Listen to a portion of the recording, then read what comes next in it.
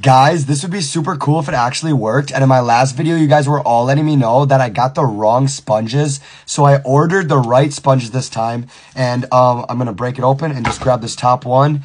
And apparently if you run it under like water, it expands and it's like super satisfying. So let's go try it out. But lock your guesses in right now. Yes or no if you guys think that this is going to work. Lock your answers and go.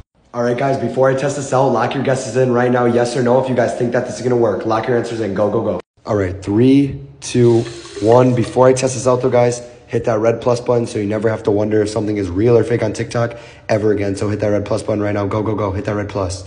Hit that red plus button.